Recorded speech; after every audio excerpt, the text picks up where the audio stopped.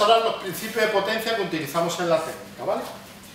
Uno, eh, primer principio de potencia, que es el que se utiliza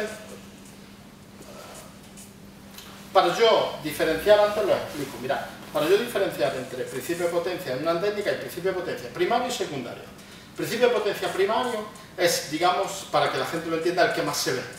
Si yo hago esto, el que más se ve es el torque. Si yo hago esto, el que más se ve es el torque, pero también he hecho el torque y también he hecho matrimonio. ¿ok?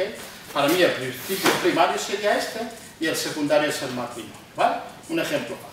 Entonces, para los cinturones básicos, que entiendan los conceptos. Mira, uno, el torque. ¿ok?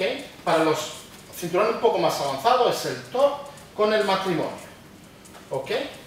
Pegamos la patada y cuando caemos es el body, momentum, porque vamos hacia adelante, y el matrimonio, porque bajamos abajo. ¿Ok?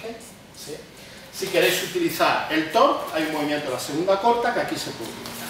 Mirad, cuando hacéis el primer movimiento, cargas, pegas la patada y aquí sería matrimonio, perdón, el body momentum porque voy hacia adelante, ok, el matrimonio porque caigo y cuando giro, si queréis, le podéis pegar el torque de la segunda forma ¿entendéis? Si os dais cuenta, es el primer movimiento de la segunda forma corta. Uno, bloqueo, patada, y cuando caemos, hacemos el tor, matrimonio, y el vuelvo en el acercamos. Otra vez, uno, y hacemos el, el tor y el matrimonio, pegamos patada, y cuando pegamos, hacemos el tor cuando caemos, matrimonio, y el vuelvo momento porque nos ¿Ok?